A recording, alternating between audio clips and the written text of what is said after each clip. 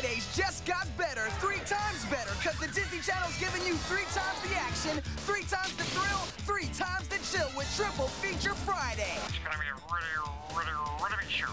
Every Friday starting at 5 p.m., the weekend kicks off with three movies in a row.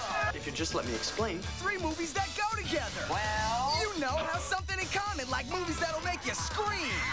Or three that'll blow your circuits. Or a three that'll fill you with adventure. You couldn't say more, not if you was my mother. Don't miss Disney Sea Adventures on Triple Feature Friday. I want my treasure. First, the boy battles an army of pirates. Gabriel Byrne stars in Shipwrecked. Then the die'll be the lucky one.